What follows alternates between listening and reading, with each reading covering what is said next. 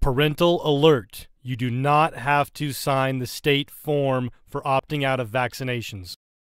Oh, Zion, dear Zion, land of the free. There are three options under the immunization requirement. One says I can sign a statement for religious exemption and sign it myself as the parent, and that complies with the law. Are you disagreeing that's what the law says? No, I'm not disagreeing that. I think you just don't want to go for whatever reason that is, and you don't want to go to the health department. Are you exercising your parental rights and exempting your child out of immunizations so your child can go to school in Utah?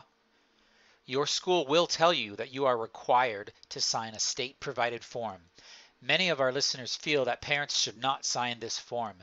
It's not true that you are required to sign this form, and some are concerned that there may be serious unexpected consequences if you do.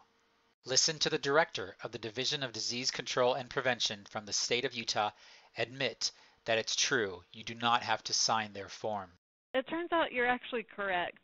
So uh, you are correct. All you need to do is complete a statement as specified in statute um, and take that to your school, um, and that should be sufficient. A complete report is coming soon. Please subscribe to our channel and Facebook page to get notified when the complete report is ready. Parents will not want to miss the important details of this report.